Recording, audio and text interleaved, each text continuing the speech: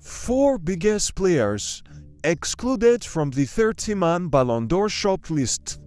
At number 1 is Rodrygo. After Rodrygo was not included in the 30-man Ballon d'Or list, he made this post on Instagram listing all his achievements.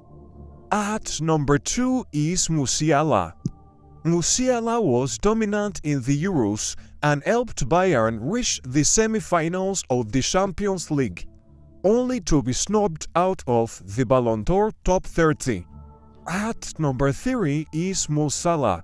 Despite having 24 goals and 13 assists, he was snubbed out of the Ballon d'Or top 30. At number 4 is De Bruyne. Despite being injured most of the season, he was crucial to them winning the Premier League and having a deep run in the Champions League.